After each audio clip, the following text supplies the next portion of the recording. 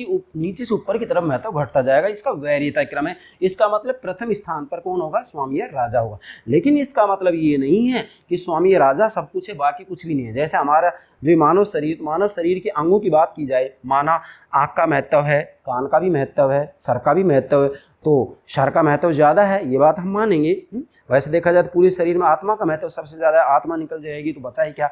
ये शरीर तो सौ बन जाएगा, है? जब हमारी आत्मा निकल जाएगा तो शेष कुछ बचा है नहीं तो सबसे ज़्यादा महत्वपूर्ण तो क्या है बेटा?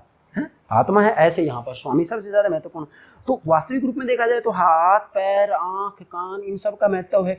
ऐसा नहीं है कि भाई कान की आवश्यकता ही नहीं है, आँख की आवश्यकता ही नहीं है। हाँ इतना ज़रूर है कि अगर इनमें से कोई अंग उपांग किसी का नहीं होता है तो ये निश्चित है कि काम चल सकता है, लेकिन परेशानी तो आएगी आएगी।